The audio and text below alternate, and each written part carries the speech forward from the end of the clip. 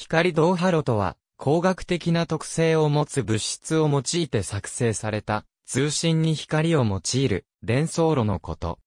既存の光ファイバーを包接する概念であるが、光導波炉という語句は主にシート状、または板状の構造を持つものを指す傾向にある。また、単に光を伝送するだけではなく、通信に必要な電気素子や、航路の分岐、結合構造が組み込まれたものもある。従来の金属製通信ケーブルと比較して、超高速伝送が可能であること、一般に、電波障害に対する耐性が高いことから、FTTH などの超高速通信、次世代の情報処理基盤として期待されており、光ファイバーの接合などに用いられている。また、分光分析への応用も実用化段階に達している。現在段階では今なお発展中の技術である。スラブ型光導波炉の構造行動波炉において、航路は一般に光ファイバーと同様の構造を持つ。すなわち、航路となるコアと、コアを取り囲むクラッドである。コアとクラッドは、屈折率が異なり、境界面で全反射を起こして、光はほぼロスなく進行する。コア構造の配置によって、次のように大別される。また、フォトニック結晶を利用した光導波炉も研究が進められている。大まかな原理として、フォトニック結晶のフォトニックバンドギャップによる光の風刺を導波炉の形成に利用している。構造素材として、無機系素材では、石英ガラスやシリコン、有機系素材では高純度ポリイミド系樹脂、ポリアミド系樹脂、ポリエーテル系樹脂などが使用され、赤外線を用いる場合には、透過特性の解出のために、重水素化やフッ素化を行ったものが利用されることがある。選定にあたっては、光の透過性、屈折率、波長特性、分散性の低さなどが重視される。光ファイバーにおけるシングルモードとマルチモードと同様に、光導波路においても導波モード別に構造が異なる。シングルモード行動波路においては、S 変更もしくは P 変更を伝送に用いる。この場合、コアクラッド境界での全反射に伴う位相シフトによる干渉が問題となる。シングルモード行動波路の形成には、スラブ型、もしくは埋め込み型の構造が必要であり、光導波路への光線入射角、コア圧の制約がかなり大きい。シングルモード行動波路は伝送損失が低いが、構造が繊細であるため物理的に弱く効果となる。立地型、半埋め込み型の光導波路を用いた場合、マルチモード行動波路となる。この時電走行の変波状態は維持されず電波する。コアクラッド構造を構成する方法として、まず半導体工学に類似のフォトリソグラフィー法が挙げられる。これはシリコンで行う場合には次のような方法がある。フォトリソグラフィー法は量産性に問題があるとされ、加工コストの問題も指摘されている。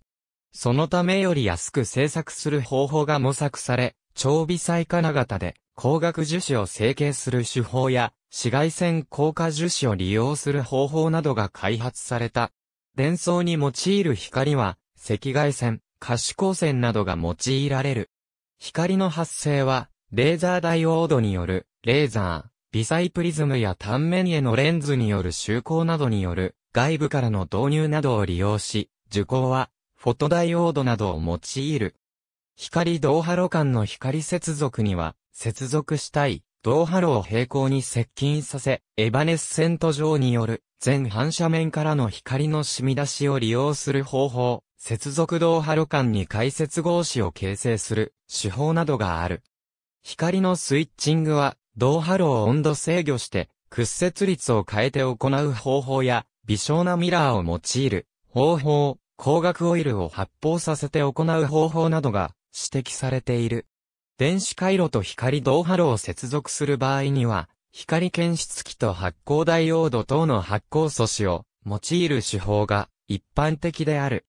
光を増幅させる方法としては、増幅させたい部分に適切な物質を置き、反転分布を形成させることで、レーザーダイオード類似の方法によってアンプとすることが可能となる。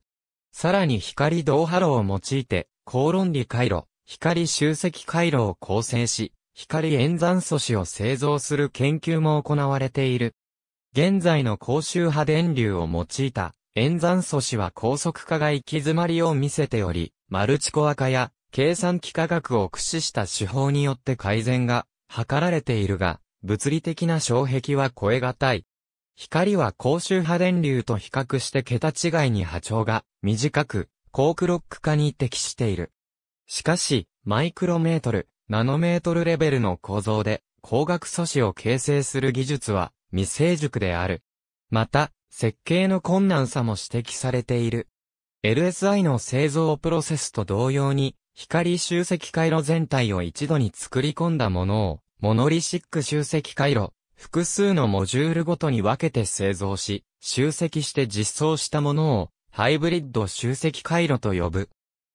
日経 BP テック、オンフィルム上行動ハロ1イギガ BPS との指摘、卒業研究報告 SI 行動ハロの作成指導教員神戸博士教授報告者、南波康則平成17年2月22日、高知工科大学電子、光システム工学科含む、フッ素ポリイミドの工学物性と応用東京工業、大学、有機高分子物質専攻、安藤真二 ENPLANET.com、